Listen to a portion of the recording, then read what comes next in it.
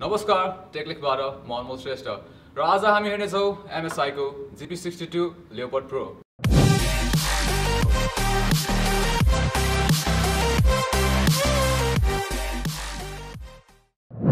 बिलको कुरा गर्दा यसको टप चाहिँ इट्स इन प्लास्टिक फिनिस अनि यसको च्यासी पनि प्लास्टिकको छ।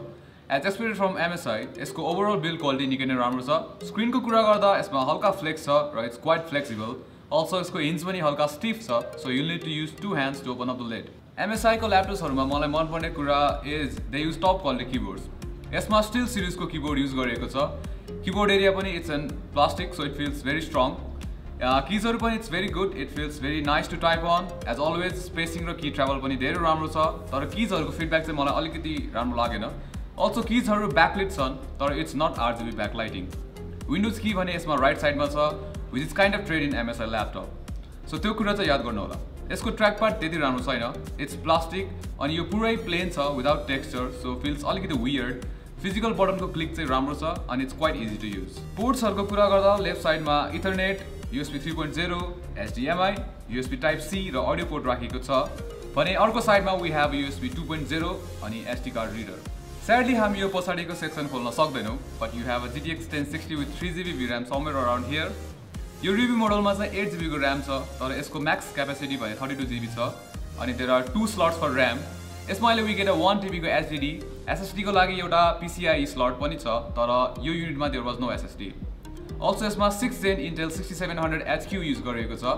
We do not get the latest Kaby Lake processor एमएसआईको ल्यापटपमा जहिले नि we have a smaller capacity battery यसमा six cell forty one watt आवरको battery छ सो ब्याट्रीमा खेल्दाखेरि you'll get around forty five मिनट्सको time अनि मैले हाई पर्फर्मेन्समा नन स्टप युट्युब भिडियोजहरू हेर्दाखेरि it gave me around one आवरको battery life एमएसआईको one of the best feature भनेको they have a very good thermal solution so यसमा हेर्न सक्नुहुन्छ there are two fans use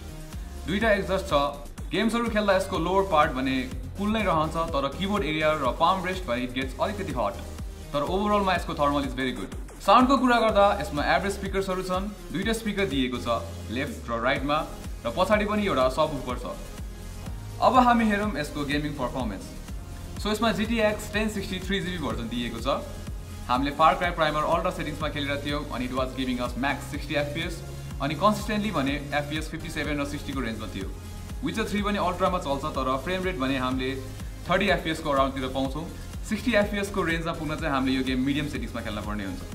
ब्याटलफिल्ड one पनि अल्ट्रा सेटिङ्समा मजाले चलिरहेको थियो र एभरेज एफपिएस भने यसमा सिक्सटी दिइरहेको थियो।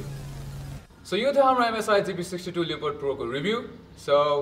shout out to IDTI.com for providing us the laptop. So if you want to buy the laptop, the link's in the description below. Shout out to Umang on the lights. Shout out to Pema on the camera.